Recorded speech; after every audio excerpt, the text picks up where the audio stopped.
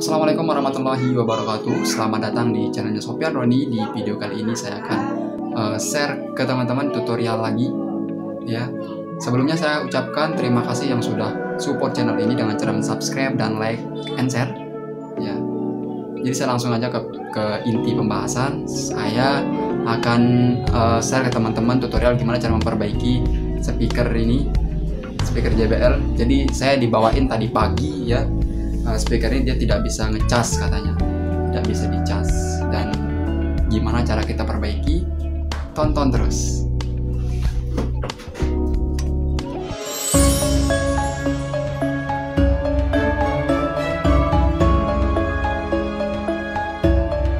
Oke teman-teman jadi uh, saya nggak belum belum buka sama sekali ya. Kita akan coba cas dulu. Apakah dia bisa nggak dicas apa gimana? Jadi di sini dia tidak ada. Sorry. Sorry teman-teman. Jadi di sini tidak ada indikator merah itu nggak ada ya. Biasanya speaker ini ada warna merah yang nyala ya. Di ampere meternya pun di sana tidak ada uh, arus yang naik ya. Tidak ada arus yang naik. Jadi kita langsung bongkar aja teman-teman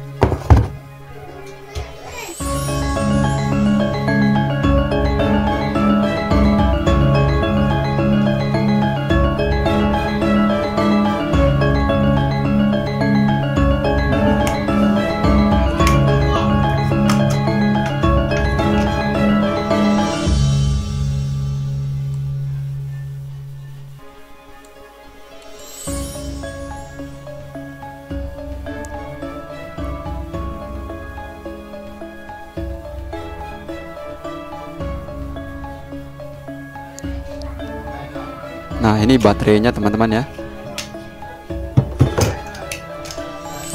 Baterainya kayak Elko.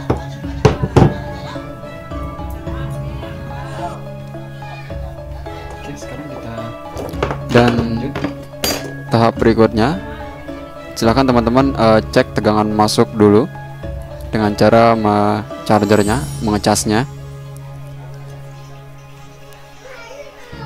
Nah dan sekarang teman-teman silahkan ukur tegangannya apakah masuk atau tidak.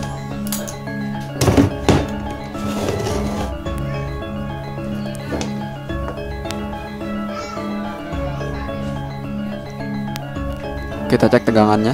Di pin positif sama ground. Oke. dan tegangannya jadi tidak, ada, te tidak ada uh, tegangan yang masuk teman-teman. Jadi kita bisa pastikan kalau kotak casnya itu uh, rusak Oke. Kita akan coba ganti uh, kepala casnya. Akan ganti sebentar.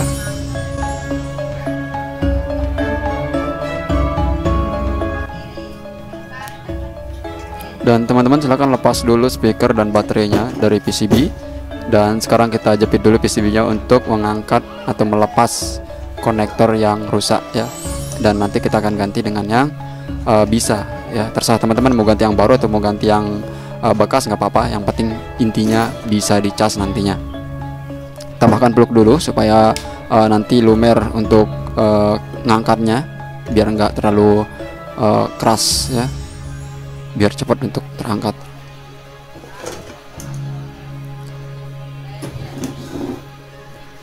Kita blower dengan rata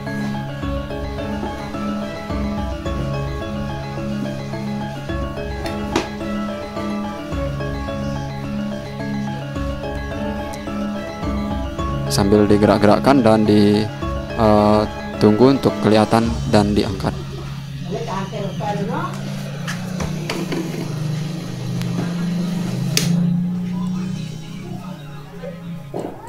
Dan inilah uh, konektor cas yang udah kita angkat ya dari PCB-nya. Ya. Uh, sekarang kita akan uh, ganti dengan yang ini ya. Kita ya. ganti dengan yang konektor yang bisa ini bekas teman-temannya bukan baru. Jadi saya langsung aja tapi eh, uh, masih pasang. sehat masih ngilo itu pasang. masih kinclong. Jadi kita tinggal uh, ganti aja. Sebelumnya teman-teman silahkan teman-teman bersihkan dulu di uh, PCB nya kalau bisa yang lubang tempat gigitan konektornya itu uh, bisa kelihatan. Dan setelah uh, ter setelah bersih gitu silahkan teman-teman pasang.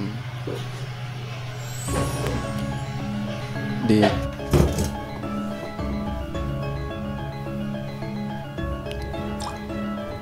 Oke dan sekarang kita kita akan kunci pakai solderan timah sedikit ya biar tidak bergerak. Biar nggak bergerak uh, gimana kreatifnya teman-teman lah ya untuk memasang yang ini? Soalnya ada juga yang uh, kita juga sekali jalan menggunakan blower bisa ya. Gimana enaknya dah teman-teman ya. Dan sekarang kita coba pasang. Yang tadi saudaraan tuh hanya untuk membantu biar nggak gerak aja ketika di uh, rehot atau dipanasi dengan blower. Untuk diratakan gitu dengan blower nah sekarang teman-teman rapikan jika ada yang kira-kiranya ingin ditambahkan uh, emang perlu ditambahkan timah atau apalah istilahnya ya. Silahkan teman-teman lakukan sendiri artinya uh, menyesuaikan ya. Dan di video ini ini lagi dirapikan uh, dan ditambahi timah yang seperlunya saja biar kuat gitu. Dan setelah dipasang kita coba ratakan lagi dengan blower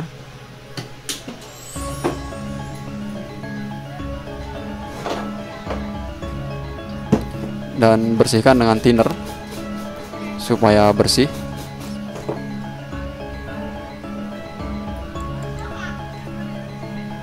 dan inilah hasilnya teman-teman ya Nah, sudah terpasang dengan rapi dan merata. Sekarang kita tes. Dan sekarang kita akan coba tes ya. Tes pakai chargeran dan alhamdulillah menyala. Dan sekarang bisa dicas. Dan setelah bisa, sekarang kita pasang baterainya sama speakernya. Nanti kita masukkan di boxnya terus ya di uh, ya di baknya tuh boxnya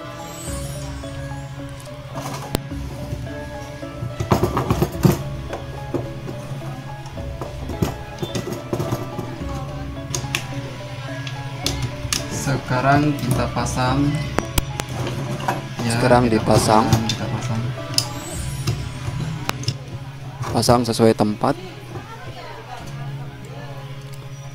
Dan teman-teman yang baru bergabung di channel ini silahkan teman-teman bantu subscribe like dan share bila perlu ya. Dan videonya agak saya percepat dikit biar nggak lama jika teman-teman ada masukan silahkan teman-teman komen di bawah. Hmm, teman-teman bisa lihat di kolom komentar silahkan.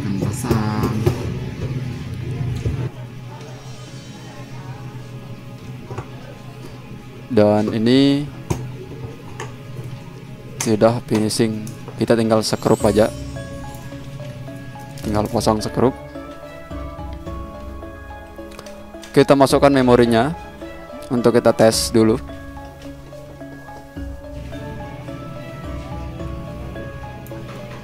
kita coba kita coba cas sebentar. Hmm. di sana ada nyala warna merah dalamnya ya. Dan di sini dia menunjukkan arus juga sekitar 800 mili. Baterainya kecil-kecil cabai rawit. Dan sambil kita ini kita tutup. Dan sambil kita tutup sambilan kita tes dan kita tutup kita coba on kan